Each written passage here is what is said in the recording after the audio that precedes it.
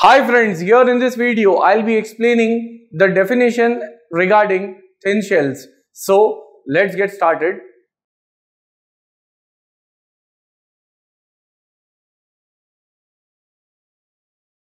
Now thin shells are those shells in which the internal diameter of the shell is greater than 20 times the thickness of the shell. So that relation I'll write it over here.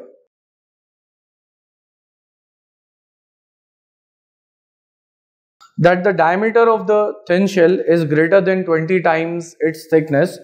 So therefore I can also say that diameter by thickness ratio that is greater than 20 and for that I'll draw the diagram as well.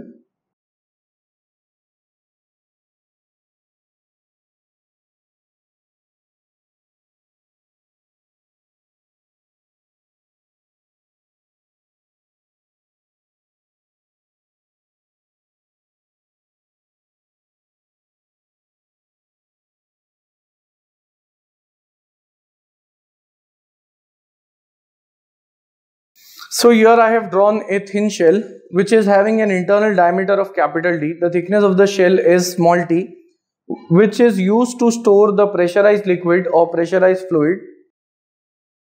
And in case of thin shells, there is very little difference between the internal diameter and the external diameter.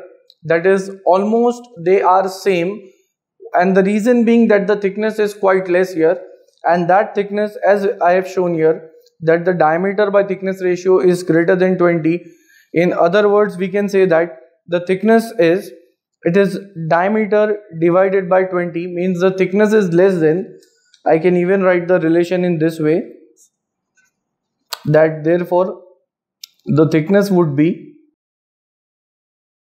less than the internal diameter divided by 20 so that is the de definition regarding the thin shells.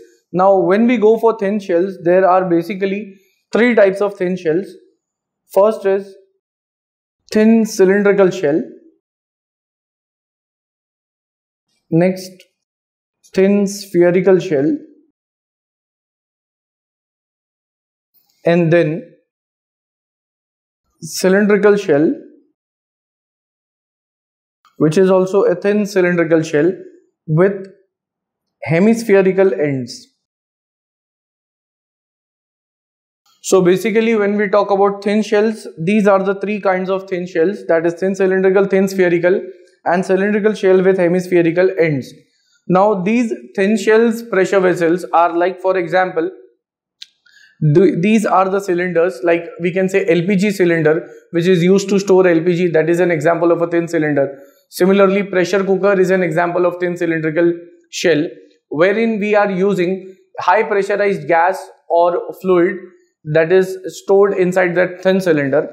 And then as per the defining condition as I had explained over here if the thickness is less than diameter by 20 then that is called as a thin shell.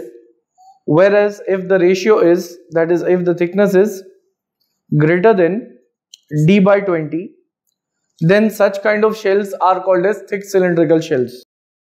This is the condition for a thick cylindrical shell. So what happens in case of these thin cylindrical shell is that because of the internal pressure this cylinder may burst and there are two chances of bursting either it may burst circumferentially that is it can be divided into two two halves or it can break longitudinally and that is regarding the thin cylinders. Similarly, when we have thick cylindrical shells, these are used to store fluids which are at a greater amount of pressure. For example, in case of nuclear reactors, we are having the thick cylindrical shells. So in short, that was just an explanation regarding what is meant by thin shells. At the end, if you will find my videos helpful, you all can like, share, comment and subscribe our channel and share it amongst your family and friends.